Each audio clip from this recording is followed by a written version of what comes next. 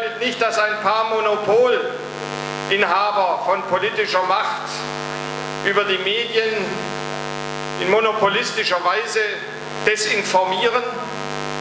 Und deswegen sagen wir Republikaner auch, wir sind richtige und rechte Demokraten und das müssen die anderen erst einmal unter Beweis stellen, dass sie das auch können. Dass natürlich ein Herr Huber aus Bayern nicht in der Lage ist, ich meine jetzt den CSU-Huber, nicht in der Lage ist, zu verstehen, was einem irgendein Bankvorstand erzählt, das ist klar. Herrn Erwin Huber ja nur ins Gesicht zu schauen, dann weiß man schon, wo man dran ist. Manager oder Manager oder wie sie sich nennen, alle zum Teufel jagen. Die Dame aus der Uckermark hat längst die Übersicht verloren. Also diese 50.000 Millionen seien ihre schwerste innenpolitische Entscheidung gewesen, die sie je als Bundeskanzlerin zu treffen gehabt hätte.